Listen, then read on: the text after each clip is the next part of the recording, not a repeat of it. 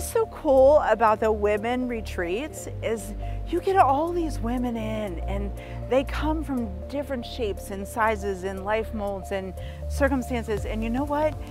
It's that energy of just come in and be you and be empowered. And then we just all come alive.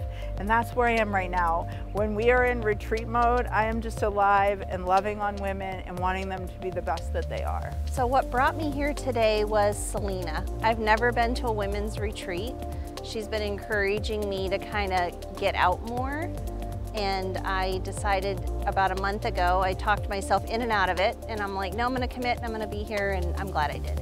The energy is just circling and vibrating through the yurt. You could just feel um, people's enthusiasm and their um, willingness to participate. It's rejuvenating, it's so positive. Each time I come, I learn something different and I meet some very nice ladies and I always leave feeling energized and like I've been fed spiritually. I think the best thing about it is seeing the light come on and really watching people realize that it isn't complex. Having someone identify for you a good avenue of change that's realistic instead of restrictive or hard left or completely unreasonable for life.